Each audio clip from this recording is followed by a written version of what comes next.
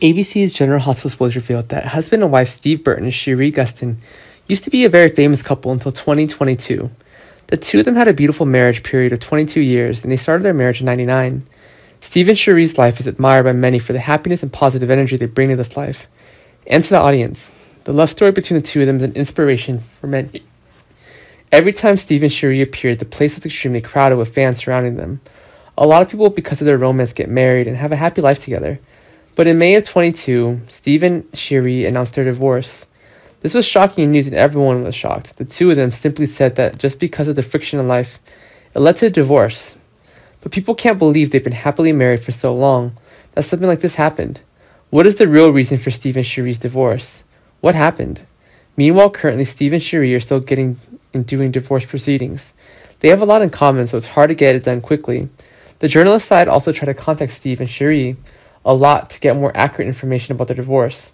And it seems that the friction between the two of them is not small when Steve reacts extremely harshly and nervously when it comes to Sheree. The two of them got into a lot of property disputes when the amount of money both of them earned in the process of being actors is very large.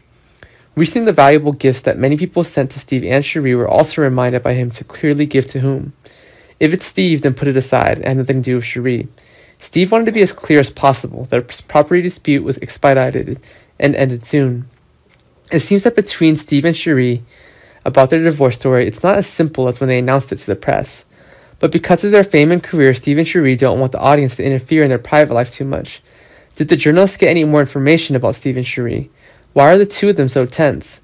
Besides the fact that Steve sold the house they had lived together for many years, also surprised the audience, because that place probably contains a lot of happy moments of their family, but Steve didn't notice and wanted to sell. Looks like someone bought the house and the house is going to be put into common property.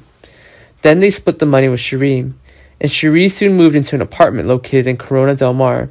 She's currently pregnant, and Sheree's life is going pretty well with an extremely large apartment. Even the price is the same as the house that Steve just sold. Sheree also doesn't show too much of herself. She still updates her life and is still very good. Everything related to the common property will be handled by Steve. Steve and Sheree's life after the divorce is always watched by the audience. Is everything going as normal as they say it is? However, the fact that Steve is always annoyed and doesn't say why is also because of Sheree. It's just been reported that because Sheree is pregnant with someone else's child, Steve has made such a move. Perhaps this news would be more shocking than the two of them getting divorced.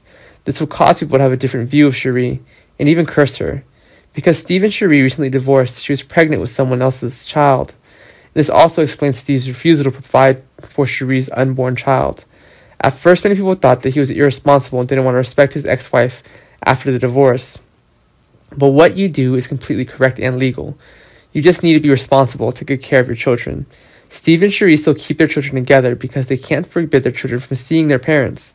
Steve and Sheree will still be good fathers and mothers to their children, and they'll raise them the best they can. How will things turn out?